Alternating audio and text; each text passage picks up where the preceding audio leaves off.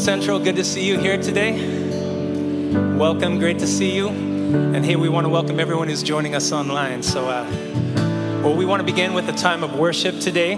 We're in a series on the Lord's Prayer. And though this song is based on Psalm 8, the chorus declares these famous words from the Lord's Prayer that say, Your kingdom come, your will be done on earth as it is in heaven. And we want to make that the prayer of our hearts today. So, would you stand with us? Let's sing of the excellencies of God. Here we go.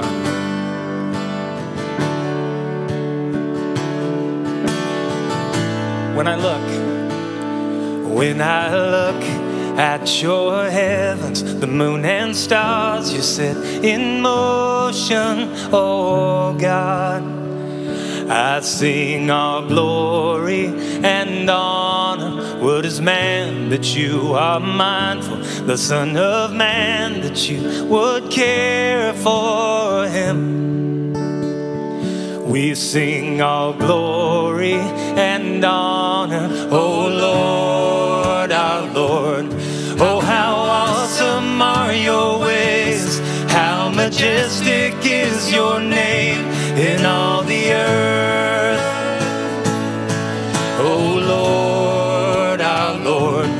May we see your kingdom come. Father, may your will be done in all the earth. In all the earth, you gave dominion to your children and you crowned them, oh God, with glory and honor. So we'll sing of your name, live our lives for your greatness, oh God, and your glory and honor, oh Lord, our Lord. Oh, how awesome are your ways, how majestic is your name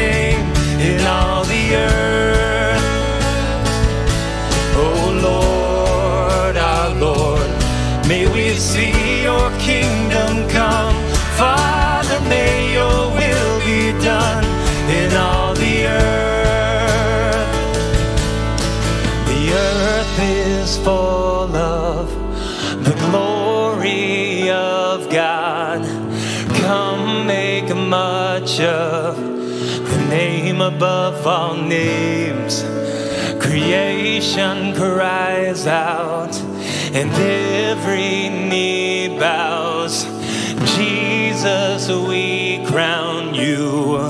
Oh Lord, our Lord, sing it again. The earth is full of the glory of God. Come make much of the name above all. Creation cries out, and every knee bows. Jesus, we crown you. Oh Lord, our Lord. Oh Lord, our Lord. Oh, how awesome are your ways. How majestic is your name in all the earth.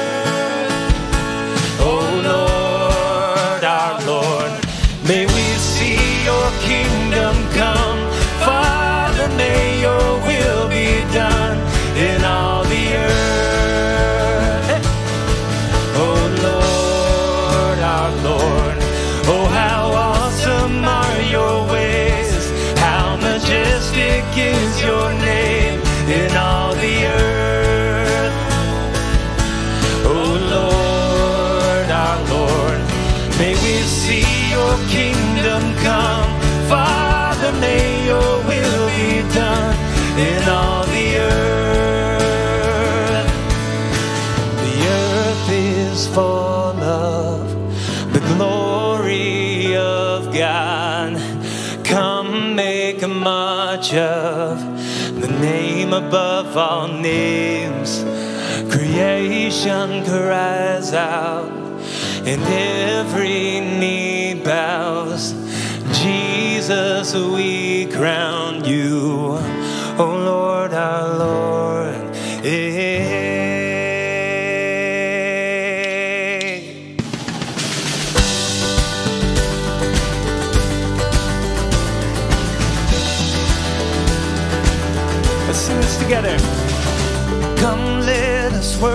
our King.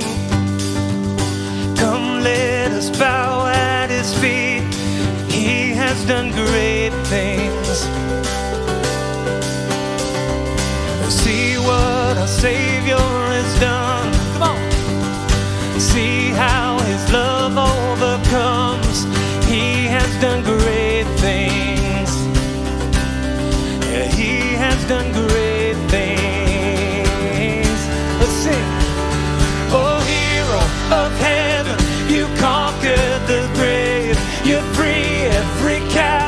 and break every chain. Oh, God, you have done great things. We dance in your freedom, awake and alive. Oh, Jesus, our Savior, your name lifted high. Oh, God, you have done great things.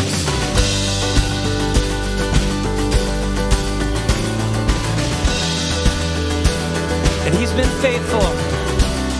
Been faithful through every storm. You'll be faithful forevermore. You have done great things. And I know you will do it again.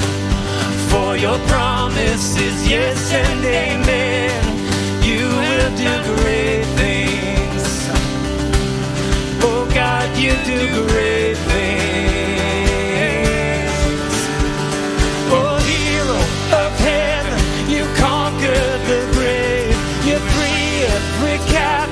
And break every chain. Oh God, you have done great things. We dance in your freedom, awake and alive. Oh Jesus, our Savior, your name lifted high. Oh God, you have done great things.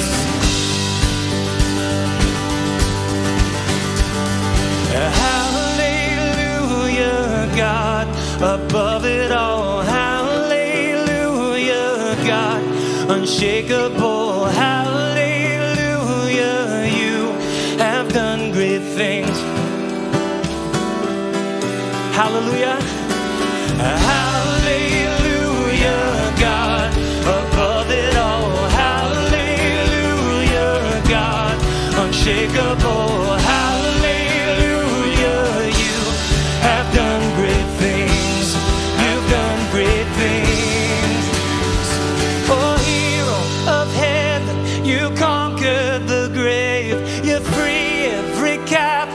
And break every chain. Oh, God, you have done great things.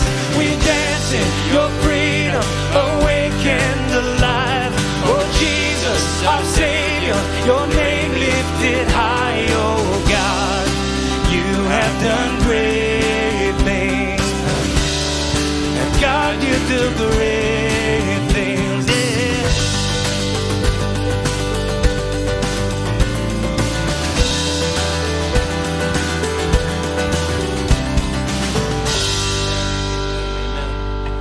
Isn't he good today? Isn't he good?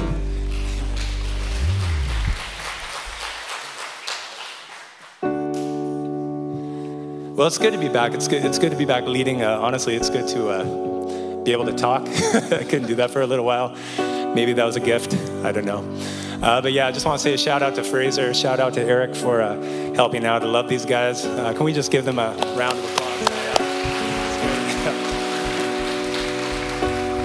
Again, the theme of our service is, is May the Lord's will be done. And uh, I think to pray, May thy will be done, is, is to pray a, a prayer of surrender. And we're going to go back to one of the, the, the great all time surrender hymns.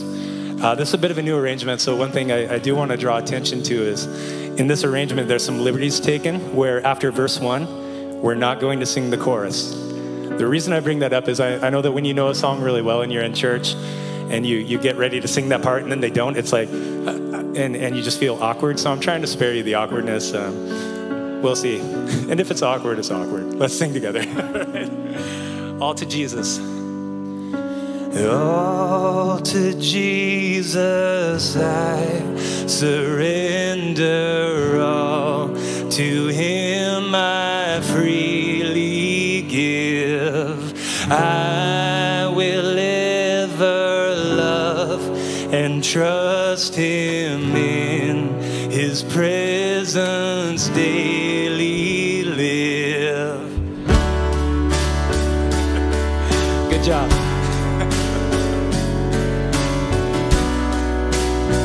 Let's sing all to Jesus.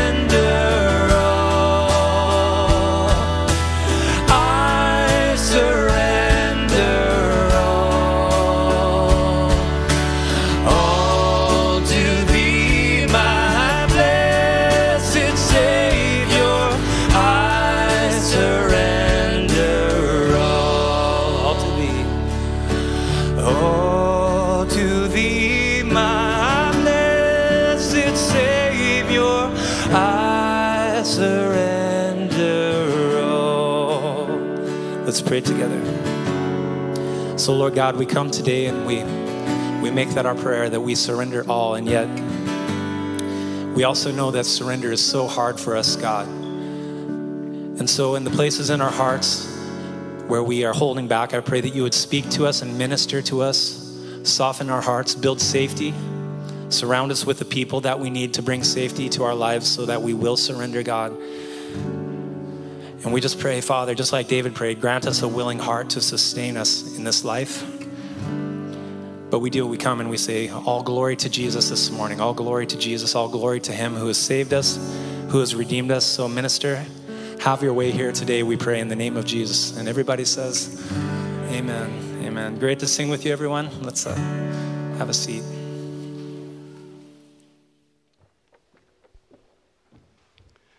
Well, good morning, everyone. For those who don't know me, I'm Tom. I'm the Children's Ministry Director here at Central, aka the Big Kid, and they gave me a microphone.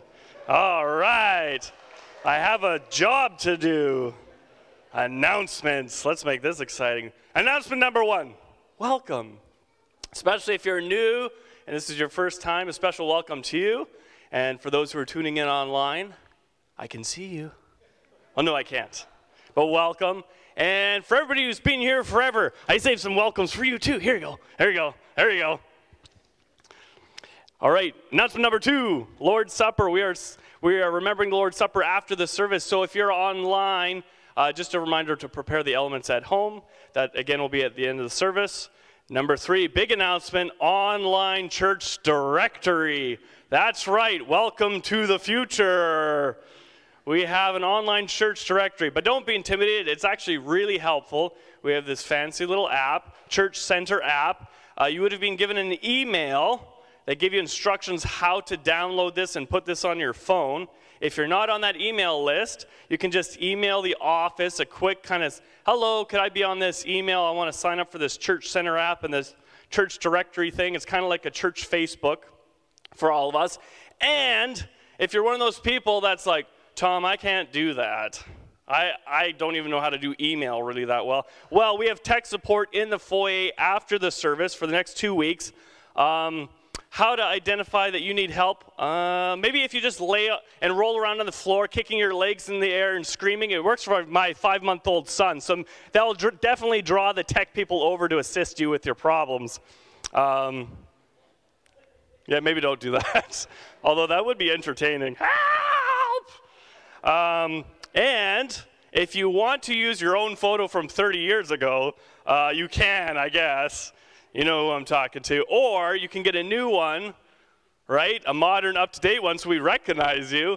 Uh, you can take your own, of course, a selfie. But if you would like somebody to take your photo, Kaylee will be up there on the balcony, just kind of that over there over on the stairs. She'll be taking photos today and after.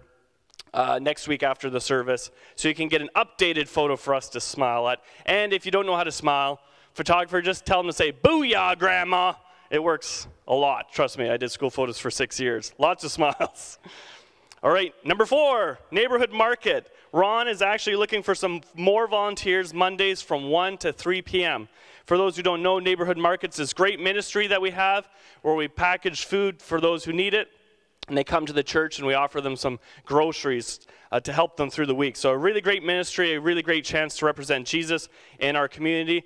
And so, Ron's looking for some more volunteers. You can t- contact the church office saying, I'd love to be a part of that ministry on Mondays. And announcement number five giving. I just want to thank you, church family, for your generosity. Of course, we're not, you don't have to give, but we know that you give joyfully. And so, I just want to thank you, especially on behalf of the Lord. He knows you who are sacrificing or giving generously to His uh, efforts here in Victoria. I just, you know, I don't know about you, but I've been getting a lot of political emails lately. And so why we give is kind of like we're supporting the campaign Jesus for King. So if you think of it that way, that's what we're doing. We're supporting Jesus for King, Jesus for Mayor, Jesus for Prime Minister, world leader, right? That's what we're doing when we give. We are supporting his campaign. And then number six, I'm going to invite someone new for some of you, but she's been around for a while. Caitlin Myers, you'll please come up to the stage. Oh, look, stools.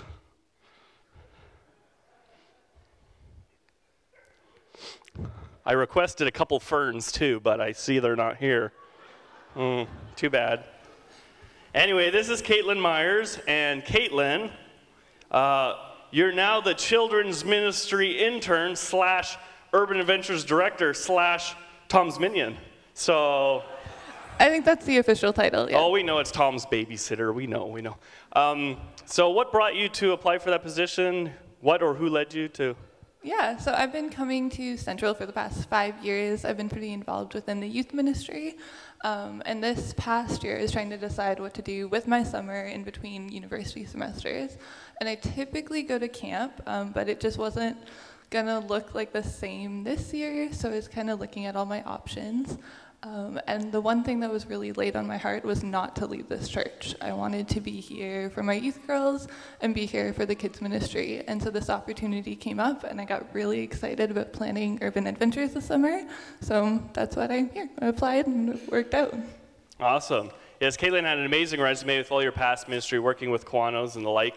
Uh, it was kind of a no brainer on the church staff, like, yes, we'd love to hire you. All right, question number two. What are you most excited about for Urban Adventures this summer? Remember, kids are watching. They want to know, Caitlin, what's the theme? What are we doing? What's exciting? So, the theme this year is worshiping God through the arts.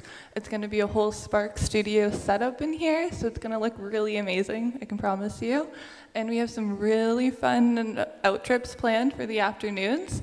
And it might involve a trampoline park, flying squirrel, one of the afternoons, so I'm really excited about that. You hear that, kids? Trampolines! All right, question number three. How can we pray and support you this summer as we enter into the busy season of planning for urban adventures? Yeah, so this summer we really want to be able to reach kids who don't know the gospel and don't know Jesus. So we just ask that you join us in prayer as we present the gospel to them um, and open up their hearts to Jesus, and that the registration will come in for them. Um, and then also volunteers. So we are back to full capacity for urban adventures um, after the pandemic restrictions have lightened up. So we are quite in need for volunteers, for team leaders, for kitchen staff, for anyone in the tech team. So I'm going to ask if anyone is free from July 18th to 22nd and want to put in a few volunteer hours, they would be greatly appreciated. Um, we have openings in practically every area you can think of. So if you have any talents of any type, let me know. Um, we can work something out. So yeah, come find me or talk to me about it. Awesome. And then her email is caitlin at centralbaptistchurch.ca. So if you want to get a hold of her in regards to anything Urban Adventures, again, if you're artsy fartsy in any way, we would love to have you because, again, we're celebrating God through the arts. So if you've got a talent in painting, construction, anything really, uh, that's what the summer theme's about. So it'll be really cool for the kids to see all the talent that our church family has on display in regards to worshiping and serving the Lord. Awesome. All right, kids, at this moment, we're free to go down into kids' church.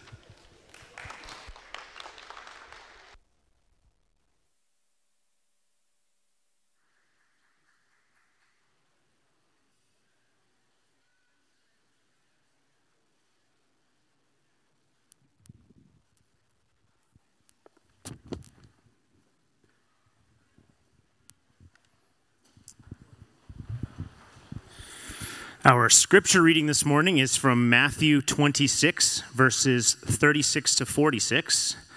Please turn to Matthew 26 in your Bibles or follow along on your insert or on the words on the screen. And let's stand for the reading of God's word.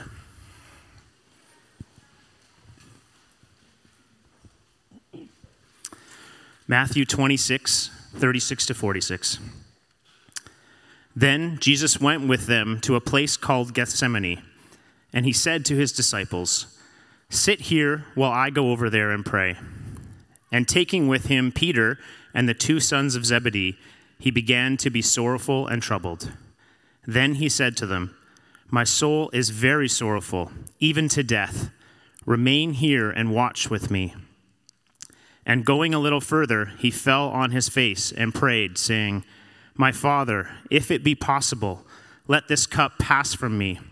Nevertheless, not as I will, but as you will. And he came to the disciples and found them sleeping. And he said to Peter, So could you not watch with me one hour? Watch and pray that you may not enter into temptation. The spirit indeed is willing, but the flesh is weak. Again, for the second time, he went away and prayed, My Father, if this cannot pass unless I drink it, your will be done. And again he came and found them sleeping, for their eyes were heavy. So leaving them again, he went away and prayed for the third time, saying the same words again. Then he came to the disciples and said to them, Sleep and take your rest later on.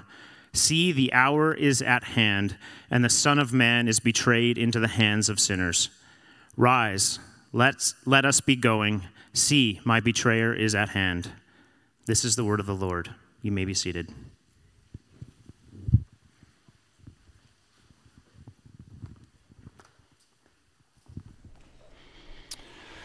Well, good morning, church. I missed you all. In case you didn't miss us, Martha and I have been gone for a month, and lots has changed in the time we were gone. Look at that. We are very glad to be back. Actually, I'm very glad to be back. Martha is still on the east coast of the U.S., where she's visiting her family and friends. She stayed on one extra week. She will return to me tomorrow, Lord willing, I hope. And uh, we look forward to continuing to serve you here. Thank you for those of you who prayed for our trip. It was amazing. We were able to go all the way back to Kyrgyzstan for 10 days, where we lived and served for the seven or eight years prior to coming to Central and visited the International Church there. It was a marvelous experience. God gave us safety and health and just a great time reconnecting with friends uh, both in Kyrgyzstan and with Martha's family and friends on the east coast of the USA. So thank you for praying. We thoroughly enjoyed our time uh, in both places. Martha is, because she's not in Victoria, is not able to be with us, but I brought her on video for you. Actually, this video was prepared before we left, and what I want to do is invite you to listen very carefully to the message that Martha has on this video. The ideas on this video have emerged over the past few months of conversation between Martha and several other women at the church here, and they represent an area of discussion that we as a leadership believe is very important and significant as we continue to pursue our vision of renewing our community through the gospel, renewing our own lives through the gospel. The beautiful truth of the gospel is that it shines light and brings transformation into every area of our lives. And this area that Martha will raise is something that's not often spoken about, perhaps, but it is an area that desperately needs to be brought into the, the, the loving light and tender love and transformative light of Jesus. This video message is directed specifically to the women of our church community, but men, I do want to assure you that we've been in similar conversations and we'll continue this in the coming months also for men. but for now, let's listen to what Martha has to say to us.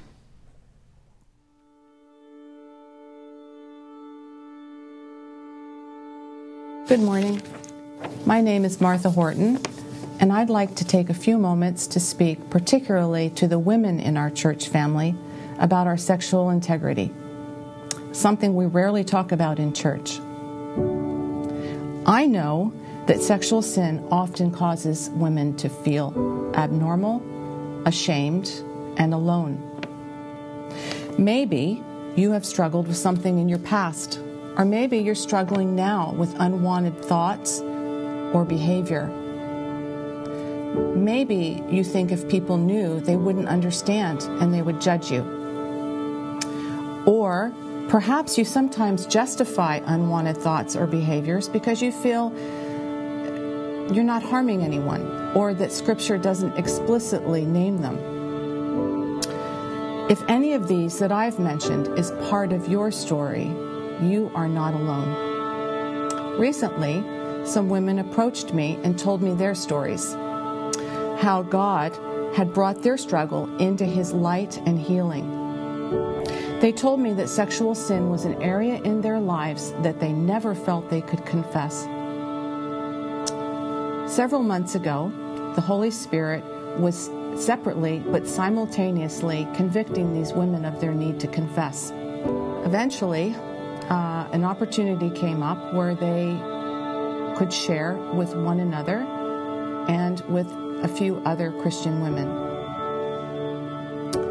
It was an evening where Christ's body did as Scripture teaches to bear each other's burdens and to point each other back to grace, forgiveness, and healing. The women have formed accountability partnerships that are bringing peace and helping them to gain victory in ways that they hadn't been able to before. After doing some research, we found that there is a lot of biblically sound resources for women in this area. As I was reading and listening to some resources, some things surfaced in my own life that I'd forgotten about, things that I can bring to the light. So, why am I giving you this announcement? I'd like you to know that in early June, Central will be starting a confidential support group for women in a private location outside of the church. A place providing a space for sharing, learning, healing, and accountability. In this group, we hope to go through various resources to compile material for a, uh, an official launch for a women's support ministry in sexual integrity in the future. If you'd like more information about this group, send an email to regeneration.central at gmail.com. This group, with all of your correspondence, will be strictly confidential. We also will be sending out a follow up email with this contact. Please pray for us as we develop this ministry and seek to become more like Christ. Thank you.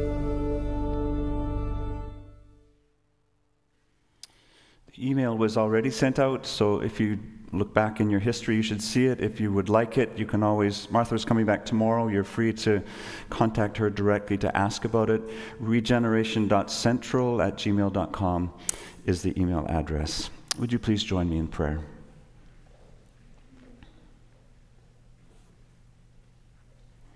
As we continue to look in our series on the Lord's Prayer, the phrase we come to is very fitting in response to what we've just heard.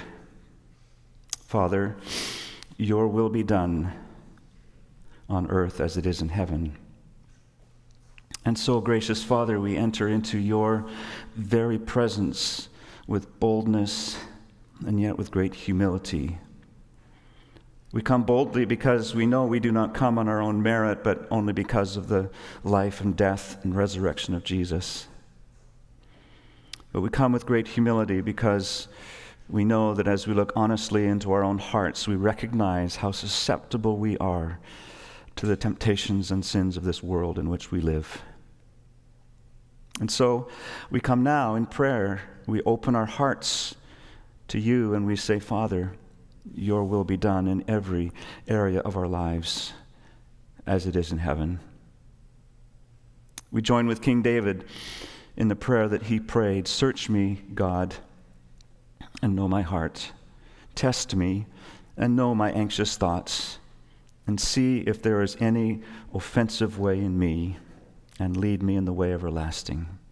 Father, I pray that our church would be a place of much grace and love and forgiveness as we seek to encourage one another to allow the beautiful power of the gospel to transform us more and more into the image of Jesus in every area of our lives. Give us the courage we need to carefully open our lives to each other and step forward in such a way that the light of Jesus will shine brighter and brighter from our community out into the streets of our city. Let us be agents of gospel transformation as we carry the message of hope to a world that so desperately needs it. Today, we continue to intercede on behalf of our broken world, broken in so many places, but especially again in Ukraine. We pray for, for peace. We pray for cessation of violence. We pray for those who hold power in their hands. Lord, would you capture their attention? May your will be done on earth as it is in heaven. We pray also again for our nation of Canada. We pray for our political leaders at every level, from municipal to provincial to federal. May our leaders stand for righteousness and justice. And here again we ask, Lord, your will be done on earth as in heaven. As we turn our attention back to our church community, I want to praise you and give thanks to you during this season of transition because you have placed good people in this church in positions of leadership. I thank you for each board member. I thank you for the board as a whole. Thank you for the stable and thoughtful leadership they are providing as we move into this season of seeking your will regarding a new lead pastor. I thank you also for the staff team.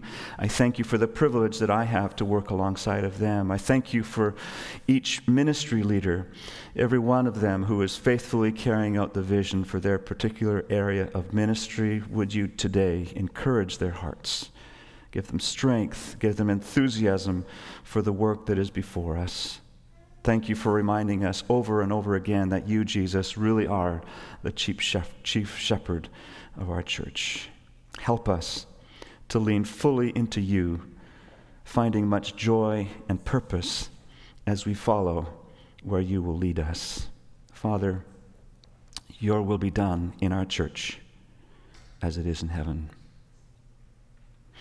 And now, as we pay attention to, our, to your word, I pray that you'll open our ears and our hearts, and would you equip Scott as he teaches us today. Let us receive the word from you, I pray. In Jesus' name. Amen.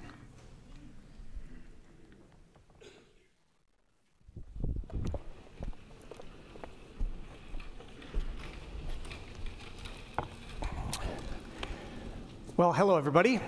And uh, let me add my word of welcome to you as well, whether you're here in the in the building or online. It's uh, great to be with you again today, uh, especially given our our uh, teaching series. And uh, if you've been around Central for a bit, you know that we are dealing with, in the middle of, and, and, and actually it's been all through the service so far, the Lord's Prayer, or what we're calling the prayer that embraces the world. Because part of the challenge here, or part of the, um, the nature of the prayer itself, is that it's universal. Its scope is universal. It isn't just a matter, it isn't just a matter of our individual daily lives, although, as we'll see today, hopefully, it includes that. But it, it, it, expands beyond that, it extends beyond that. It is, it considers the entire movement of our globe, of our earth, and uh, the intention that God has to bring it together again, to renew it, to redeem it under His sovereign care, the way that it was intended. And so today we are looking at the phrase, again, as it's been repeated here Your will be done on earth as it is in heaven.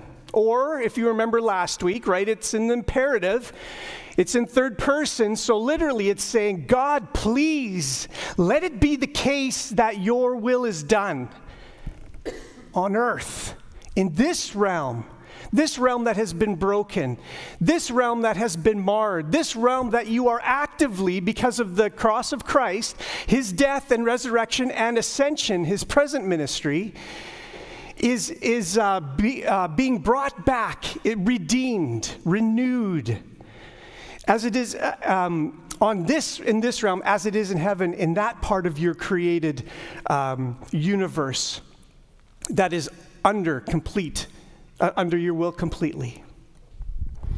But it seems to me, uh, but before I kind of we, we jump into this, I want to do a little bit of, I want to talk a little bit pastorally with you if I could, because it, it occurs to me, uh, well, I'll, I'll put it this way: after a couple decades or a few decades of pastoral ministry, there's few things that I come across, issues in our lives for most believers that cause us the most angst or grief is our prayer life. Uh, I'm sure if uh, I was to go around and ask each one of you, or we were to do a survey online, uh, would you like to be a better prayer, if I could put it in those words? Would you like to pray better? I would, I, would, I would bet, if I was a betting man, I'm not, but if I was, I would bet it's probably close to 100%. There's, a, there's, a, there's an implicit challenge and desire. We hear about it, we read about it. We know Scripture invites us into this by God's grace, into this communication, into this connection that we have with God, this conversation that we can have with God. And yet, some of us feel, all of us, I think we do at one time or another, feel something is missing, or we at least want to grow. We, we feel like we're not we're not doing what Scripture teaches us, and we're not accomplishing, we're not seeing these kinds of things. Um, and, and so I, I, want to address that a little bit here. And, and to do this, to illustrate this, I want to tell you a little bit about my family. And yes, I do have a family. Now, I realize that might be hard to, for some of you to believe. Some of you might be wondering, but I am married and have a family. Uh, if you're not aware, I should say uh, when I first started here at Central in, in December, my wife Michelle and I, we decided that we were going to allow our youngest daughter Olivia to complete her final year of public education, her grade 12 year, back in Lethbridge, where they are presently. But that means that I'm here on my own and have been now for a few months. Uh, but I, I, do have a wife. Her name is Michelle, and she is a real person. and I feel like I have to say that out loud every once in a while just to remind myself. Uh, but, um, and there are many significant byproducts of our marriage, my marriage to Michelle. Oh, uh, I should say, here, here, you can show the first picture. Here's, here's our family. So uh, this sorry about the, the quality of this picture. My, my, my family, my kids are going to roll their eyes. I'm not the greatest photographer uh, with my phone. I don't always remember to bring it out, and when I do, the pictures are of kind of that quality. So, but anyway, you can kind of get an idea. That's us on Lake Louise about a year ago, uh, and. Uh, I, and, and, so I want to tell you a story about one of my daughters, an interaction that I had with, with her a number of years ago. In fact, this daughter, Cassidy, the one that's going to have the arrow in just a second. There she is. Okay? Um, a number of years ago, when Cassidy looked more like this, right, about 10 or 11, she and I had had a, fascinating conversation about prayer. I remember exactly where we were. I remember her room, and I remember kind of she was sitting down in, in, in, in on her bed, and, and I was standing up. We were chatting about she was having a, a, an issue. She was struggling with something. She was frustrated about something. There was a challenge that she was facing. I don't remember the specific details of this one in particular, but I know she was frustrated. And so I stopped. We were chatting about it for a little bit, and so I stopped for a moment and I said, Well, Cassidy, uh, let's just stop for a bit and let's pray about it. Let's talk to God about it. I'll never forget how she responded. Because I think her words, as you'll see in a second, are a reflection of some of the words in the deepest, darkest corners of our hearts are actually echoed in the same way. Maybe not as starkly. But here's what she said No, I don't want to pray. I've tried that. It doesn't work. I've tried that. It doesn't work. What a great statement. What an honest statement. And as I said, it resonated with me when she said that. Because I, although I haven't put it in those exact words, I felt that. I wonder how many of you have felt that as well. I've tried that. It doesn't work. This is what I mean. This is the underlying issue that we need to address. That, uh, in fact, we need to address this regularly.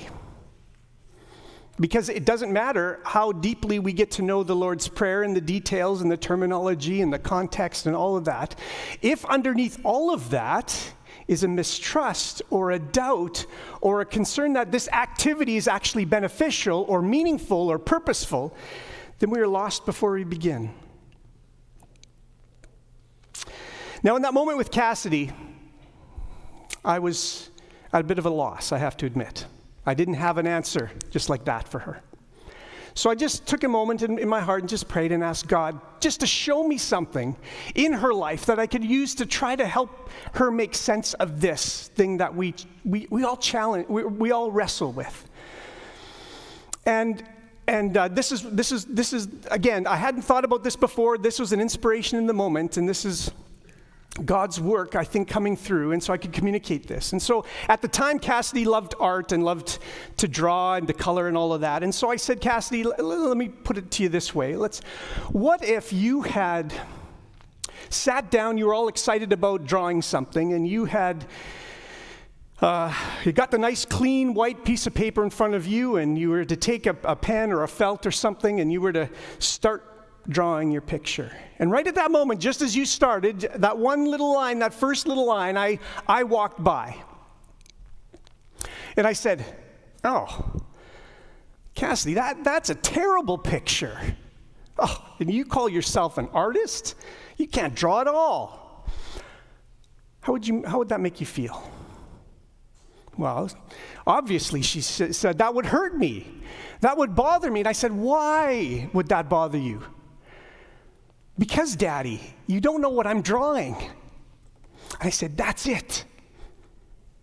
That's the point of prayer. And so let me encourage you in your prayer life. And I'm certain that, that um, many of you in this room and at home are struggling with this. Because if you've tried it all, if you've tried to engage this with all, uh, at, at all over the course of, of any amount of time, you've wondered, and so let me encourage you to say that there are some times in our lives when we go through these challenges, when we're drawn to pray, when our inclination, when the Spirit at work in us draws us to pray, that we need to pray, even though we don't see the great picture that God is drawing at the moment. We just see that line that doesn't make sense to us, that, doesn't, that isn't clear to us, and yet we still need to pray. So, I want to encourage you with that as we, as we continue and finish off this series. That in spite of all of this, deal with both. Deal with the details of the Lord's Prayer, the prayer that embraces the entire world, but also don't also nurture and care about your heart with each other. Discuss this with other uh, people.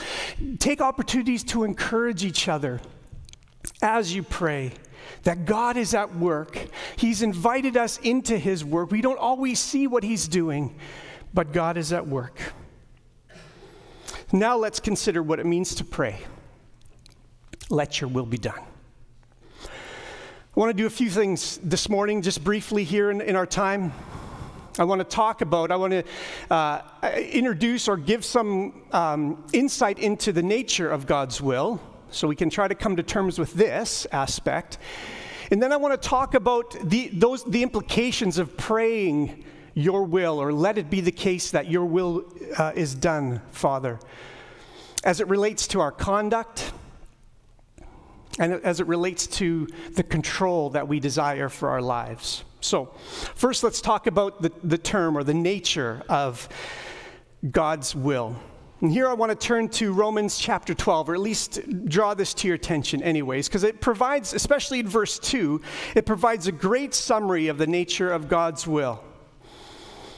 Uh, the, the nature here in verse 2 is this three words it's good, it's acceptable, and it's perfect. Let me give you the, the full context of these two verses. Paul writes at the beginning of, of uh, Romans 12 I appeal to you, therefore, brothers, by the mercy of God, to present your bodies as a living sacrifice, holy and acceptable to God, which is your spiritual worship. Do not be conformed to this world, but be transformed by the renewing, renewal of your mind, that by testing you may discern what the will of God, what is the will of God, what is good and acceptable and perfect. There you go. Each of these ter- terms, I think, provides unique insight into the nature of God's will. First, we see that God's will is good. And right off the bat, we're sort of hit with a bit of a confusing thing sometimes, right? Because if we're walking with God, if we are in relationship with, with God, there are times in our lives, all of us know this, where it doesn't feel good to follow Jesus. We're challenged in some way. It could be with our health, it could be with our financial circumstances, it could be with our own uh, level of faith, our own trust, our own growth. And yet, here we are at the very beginning to say the first word Paul uses is God's will, that which is good. So, what is he saying here? What does he mean by this, this word good? It's, it's not something in addition to God, it is who God is. Therefore, if God, we are in relationship with God, that means by nature that his goodness, he will impart his goodness to us. And, and, and what is good for us is equivalent to what we were made for. And see, it makes sense though when, when you kind of step back a little bit and think about it, right? Our Creator, the one who, uh, who originated all of this, who got this all started, who knows you and me, who brought us into being, it makes sense that he's going to know what's best for us. And not just what's best for us, as we'll see, but what's good, what we were made for not just in general, not just humans, but as individuals. This is the beauty and the power and the wonder of God's gospel to us. Is that God, He's invited us as individuals, as much as He has as a group, individuals for us to walk individually with Him. And in that, He knows what uh, His will for us is good. But God's will is also acceptable or literally means well pleasing. In the end, so again, when we, when we think through the logic of this a little bit, it makes sense. In the end, if God knows what's best for us, what is good for us, and by virtue of this relationship that we have, because He is good, that His goodness is going to be imparted as a result of this relationship, that we are going to experience this. And if this is what we were made for, then we're going we're gonna benefit. We're going to experience the pleasure that comes from stepping in line with what is good for us. Now, as I said, don't get me wrong, I'm not here presenting that everything, as soon as you follow Christ or, or start to follow Christ, that everything's going to go nice and easy. That's not what I'm saying at all. That by the end, each step of the way, remember that little line, we've only seen part of it. Sometimes we don't see it all, but in the end, as we walk and as we take these steps, we, we receive His goodness. And as we receive His goodness, we sense His pleasure and we experience joy in the midst of this. This is another characteristic, another part, another part of the nature of God's will. Paul also describes the will of God as something perfect. Again, makes sense when you, when, you, when you think about these three things in relationship to each other, right? If God knows what, who we are, if God knows us as individuals, if God has, and He knows that because He's the one who made us, who brought us into being, and he's in, uh, and he's and he cares about how we live our life. That's another piece I, I missed earlier. That, that's important as well, right? So it's not that God's just designed and got this started and then backed up and said, "I don't care about this. I'm going to go on to something else." But God's invested into in this world, vested in our lives, invested in our relationship with Him, and so He imparts that goodness by His very nature. As a result of that goodness, we we we sense His pleasure. We are pleased with it. Is well pleasing. And then as we do that step by step, through the challenges, through the struggles, then we are led to this idea of perfection. Or another way this word gets translated in the New Testament is, is mature or complete. Right? You see this step by step, God's goodness imparted to us. We, we sense His pleasure. As we do that, we continue to step one at a time through all of this. That leads us to this idea of perfection. It's perfect for us, is exactly what we need. Modern terminology uses the word flourishing, and I'm happy to use that here. This is what's going to result in our flourishing. Is when we walk in step with God's will, when we submit in step by step with God's will, that's when we flourish as humanity and as individuals. That's the nature. This is the characteristic of God's will that we, we, are, um, we mean when we start to pray, Father, let your will be done. Right? Doesn't that make sense? We want God's goodness. We want to experience it in our lives, but we also want it to extend to the world. Right? We want to, we want to know the, the, the pleasing nature of what is good for us. And we, not just us, but others. And we, and we want to finish this so that God shapes us and molds us and God uses us, and God perfects us. And so we then become mature, complete, lacking in nothing. That's the end. That's the goal. That's the perfection. This is the nature of God. This is the nature of God's will for which we pray. But there is more for us to consider this morning. The nature of God's will and the desire expressed in Jesus' teaching prayer raise two issues that challenge some of what feels like uh, part of the very core of who we are our conduct, how we choose to live our life, and the control of our life. Who makes the decisions? Who allows to happen or, or for the experiences to happen that, that actually happen? Is it me or is it God? The prayer, let your will be done on earth as it is in heaven, applies to both God's righteous demands. So, yeah, let's deal with conduct first. Sorry, I should have clarified that. Let's deal with conduct first. The prayer, let your will be done on earth as it is in heaven, applies to both God's righteous demands, right? Again, part of his character, part of what it means to uh, ask for God's will to be done and his de- determination to bring about certain events in salvation history. In Matthew uh, chapter 7, verse 21, Jesus explains this. He says, Not everyone who says to me, Lord, Lord, will enter the kingdom of heaven, but only the one who, here, catch this, who does the will of my Father in heaven. So there's an expression there's a response to God's will. And, and Phil prayed about that, right? Right at the beginning of his pastoral prayer, he's, he's addressed this to say, out of our desire to respond to this with our own lives, part of this prayer, when we express, Lord, your will be done, let it be the case, is a desire, is implicit in this, is a desire to say, Give me the strength to respond to your will in obedience. So, in this case, as we see in Matthew chapter 7, the emphasis is on our active obedience to his commands. So, let me be clear right at this moment here.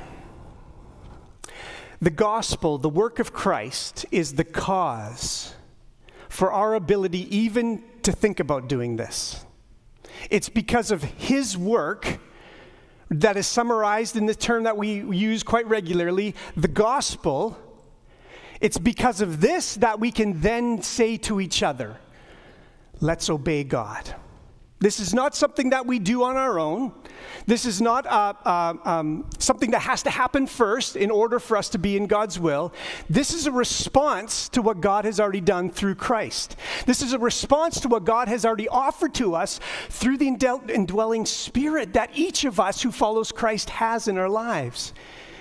And so then we can say, with that as the background, then we can say, let us respond in obedience to his expressed will, to his commands.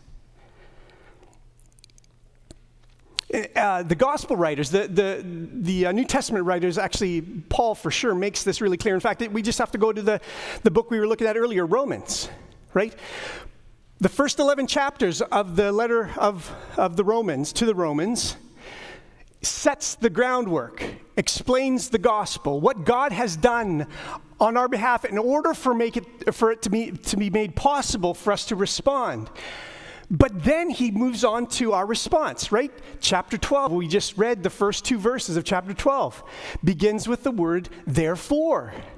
As a result of Christ, all that Christ has done, all that God has promised and planned and brought to, to fruition through his planning, through the faithfulness of Christ, then we can say, therefore, because of all of that, now we can offer our bodies as a living sacrifice. We can respond in obedience to his eh, expressed commands, his expressed will. But in addition to our obedience, Scripture describes God as working towards particular ends, as willing certain things related to the establishing of God's kingdom. So, in many ways, this last line of this first section of the Lord's Prayer, the prayer that embraces the world, is kind of a summary of all of that. What happens when God's name is glorified?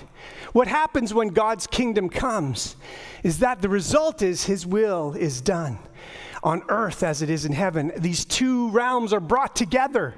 These two arenas of God's activity are brought together, and we see that in Revelation chapter 21 is brought together. And so then his will is done. So God acts. This is part of his will. And this is where the text that Lindsay read for us earlier is helpful. Right? This amazingly dramatic verse, passage of Scripture that Matthew records for us and explains Jesus' interaction with his father just before he's about to be arrested. Because he knew he was heading towards his execution. And yet he wrestled with it. Right? And as Matthew said, three times he came and said, God, you know how this is, Father, you know how this is troubling me. I don't let this cup pass from me. But I also know this. I also know what you intend. And though it's not explicit in the passage, it also needs to be understood. This is what I signed up for, to put it crassly, Jesus saying. This is what I voluntarily have, have come to do. I know this. So, in the end, I just want to acknowledge not my will, not these feelings of, of, um, of troubling. Uh, not those, not that will, but your will be done. And he does it three times. Because Jesus understood that there's just something about the way God works that He will bring His salvation, He will bring His kingdom. At someday the kingdom will come. At someday Jesus will return. It's inevitable. And Jesus said, That's part of God's will. He acknowledges that, not my will, but yours be done, no matter what it means, no matter what I have to do no matter how I suffer. Agreement is at the heart of God's will, even for Jesus. To pray this prayer then means that we are putting our conduct on the line. How I think I should live myself against God's will. And again, Jesus' example looms large for us. Three passages I just want to quickly highlight for you where Jesus says, My food is to do the will of him who sent me and to accomplish his work. This is a commitment. We need to reflect this in our lives. Jesus said elsewhere, I seek not my own will in John chapter 5, but the will of him who sent me. This should be echoed in our prayers. It should be, we should uh, recognize this implicitly when we're praying, Lord, let your will be done. I don't seek my own will, but, but your will. And then finally in John chapter 6, I have come down from heaven, Jesus said, not to do my own will, but the will of him who sent me. And in some ways, we can pray, some, pray something similar, right? I exist. I'm alive, not for my own will, but God for your will. That's a challenge, though, right? That's a struggle we have with uh, right? It's not easy. It doesn't always make sense. It's not always a, a, a, an obvious step. But this is all part of the prayer let your will be done. Right? It isn't who, just who Jesus is that is important to us. It isn't just that Jesus is God and he's divine and his sacrifice is perfect and complete and nothing else needs to be done, that he has accomplished it all. It's not just who he is, but how he lived also that is important. His righteousness makes it possible for us to be righteous before God, and then pray that our lives display God's will through our conduct, just like Jesus did. Don Carson summarizes these ideas for us nicely in his commentary on Matthew when he writes this So, for that will to be done includes both moral obedience and the bringing to pass of certain events, such as the cross. It is therefore, hear this, impossible to pray this prayer, Lord, let your will be done. Uh, impossible to pray this prayer in sincerity without humbly committing oneself to such a course. This is the profound nature of this line let your will be done. It includes, by necessity, um, this aspect of humbly committing oneself to that course. But it's not just about our conduct. In addition to our conduct, the will of God impinges also on the control we demand for our life. And that's number two, the second part, our control. Here we look to James's letter for insight. In chapter 4, at verse 13, we read these words Come now, you who say, Today or tomorrow we will go into such and such a town and spend a year there and trade and make a profit. Yet you do not know what tomorrow will bring. What is your life? For you are a mist that appears for a little while and then vanishes. Instead, James suggests, you ought to say, If the Lord wills we will live and do this or that. As it is, you boast in your arrogance. All such boasting is evil.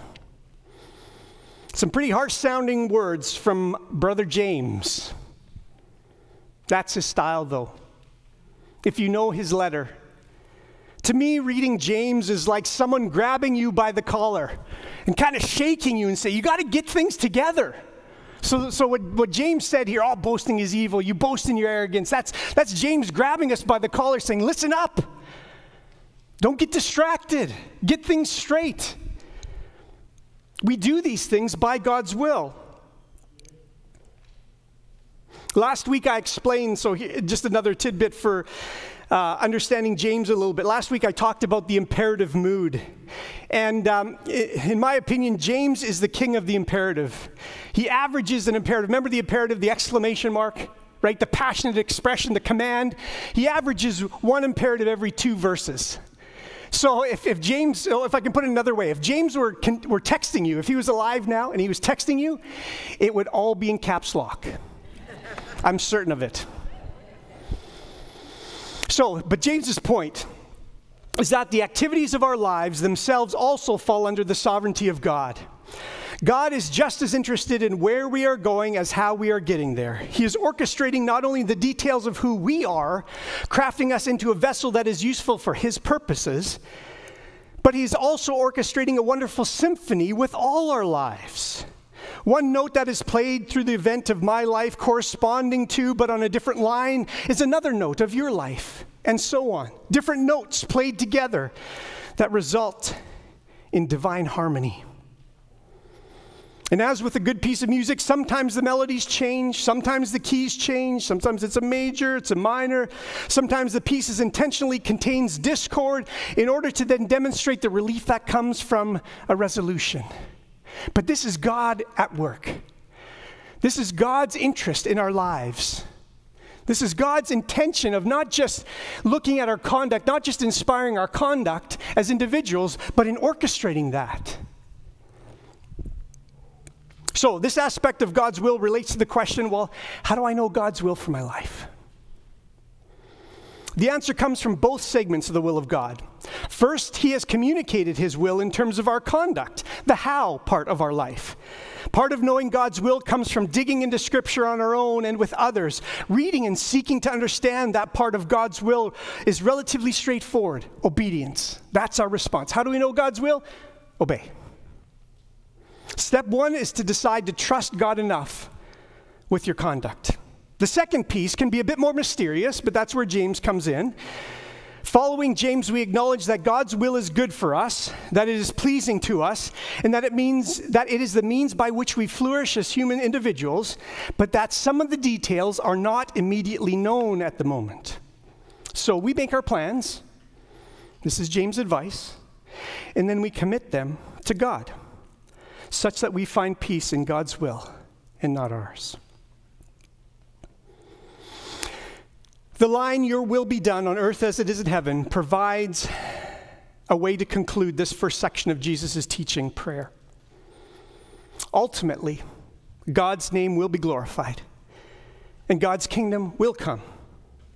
This is the promise that we read in verses 10 and 11 of Philippians 2. You know this passage where Paul writes to the Philippians, so that at the name of Jesus, every knee will bow. In heaven and on earth, those realms, everybody. And under the earth. And every tongue confess, every tongue confess that Jesus Christ is Lord to the glory of God the Father. That's his promise. That's his claim.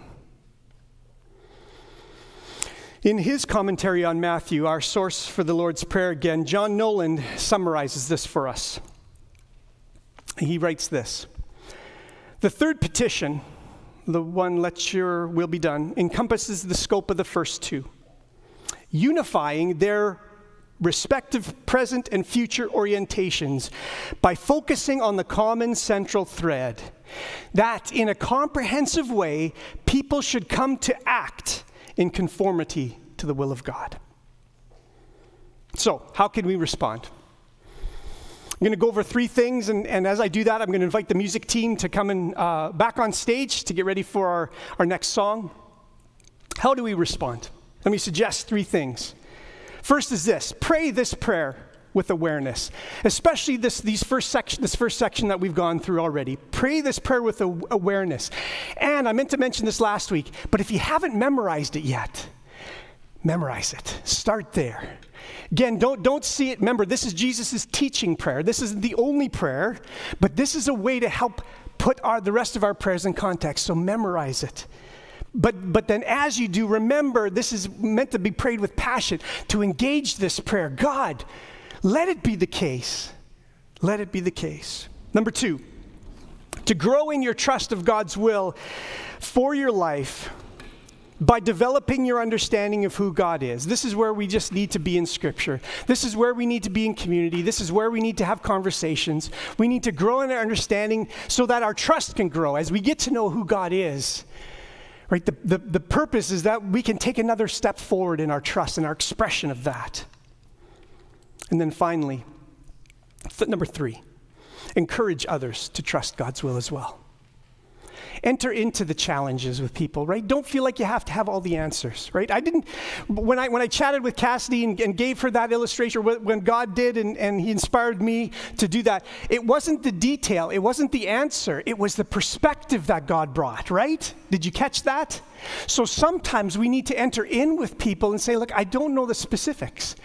I, I, I really don't know what you should do at this particular moment, but I do know this God is trustworthy. Let's pray together and let's see what God does. Encourage each other. You and I are invited to not only pray that God's will is done, as if it's something only out there, that is part of it.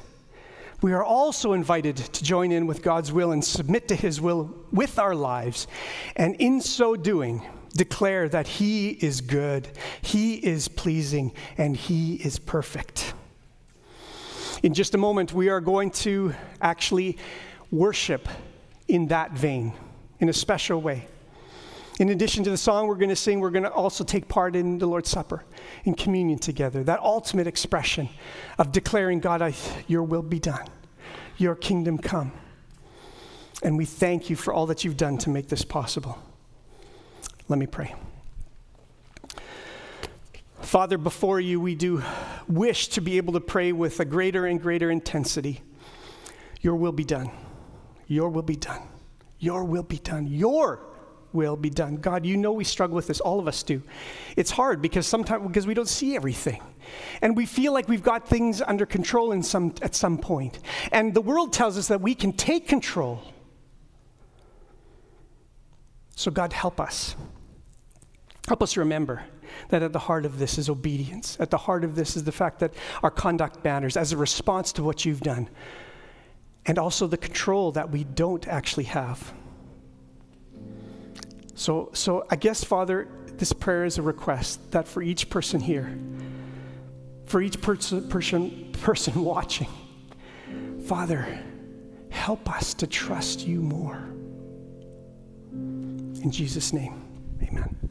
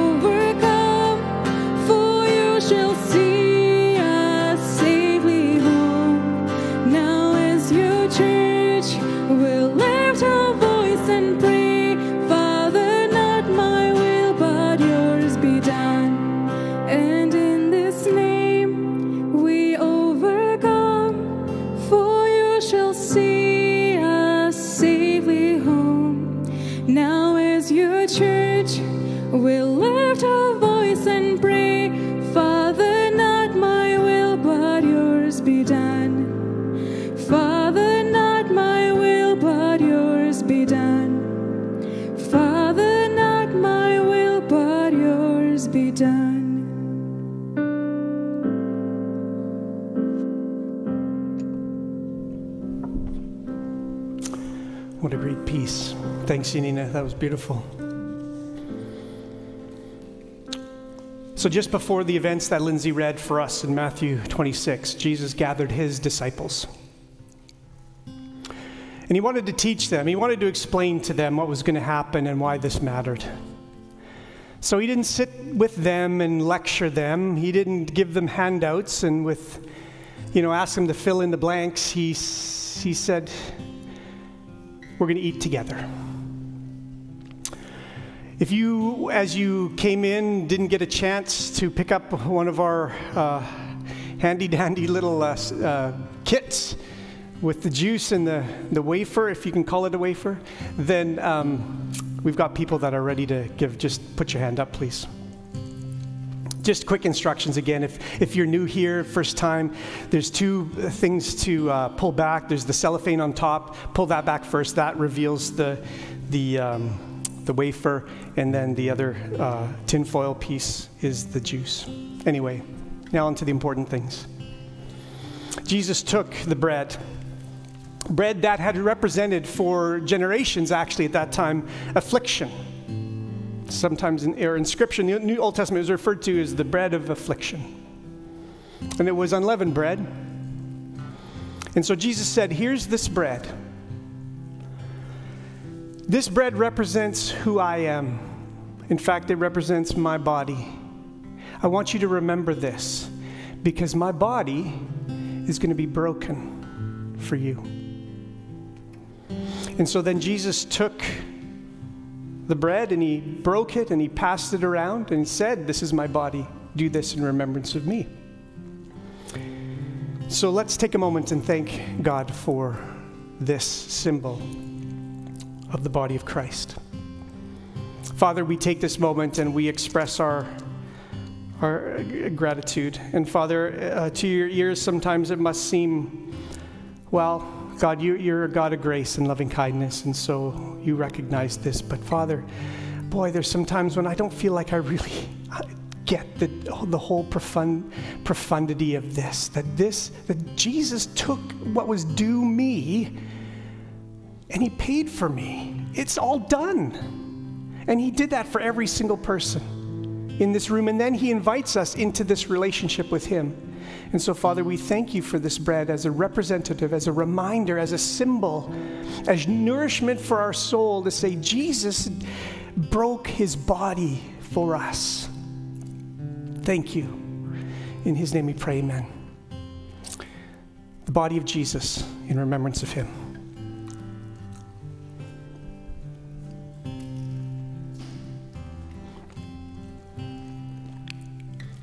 Then Jesus took the cup. And he said, This is the, this blood is my blood. It's this color. Let it remind you that real blood is going to be shed. Let it remind us that Jesus really shed his blood for us. And, he, said, and so, what Jesus said is the blood that's going to be shed, that's represented here, it's an agreement. It's a new agreement with us and God a new covenant that's everlasting. And so when we drink of it, we remember Christ's blood and the new covenant, this new relationship that we have. So let's take a moment and thank God for the, for the cup. Father, again, we just turn to you and say, What can we say but thank you? Thank you. Thank you.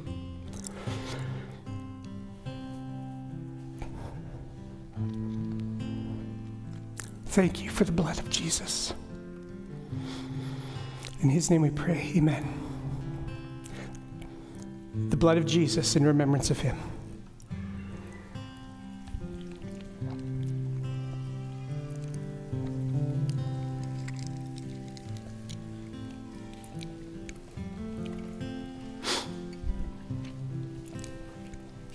After this, of course, Jesus sends out his disciples. And, and they don't realize what this sending out ultimately means, but we do now. And so we go here with the realization that our sins are paid for.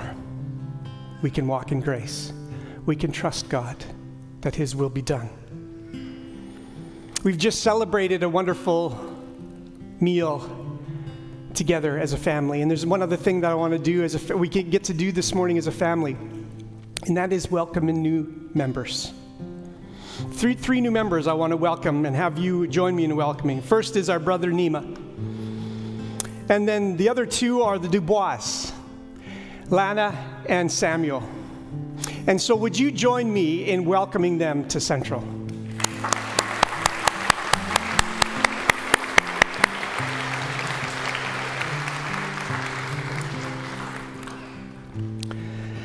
Next week, we're going to have a special guest. And in fact, this is going to sort of um, begin, inaugurate a season where you're going to be having, you're going to be hearing from a number of us throughout the summer. Uh, next week, we are privileged to have uh, Mike Mahorder, who is uh, at uh, one of the um, people who works at our um, uh, at the Fellowship of Evangelical Baptists office. And so he's going to come and encourage us as we start to address some of the, the, uh, the, needs and as we start to seek God's will for our next lead pastor. So I hope you will come back and join us and to hear from Mike. And uh, we'll say a little bit more about what's planned for the summer in terms of speaking, but um, we'll start with that this morning. So would you please just stand with me and, uh, and uh, hear this as you're dismissed. The Lord bless you and keep you. The Lord make his face to shine upon you and be gracious to you. The Lord lift up his countenance on you and give you his peace. Go in peace, but don't hoard it. Share it. Thank you for being here. You're dismissed.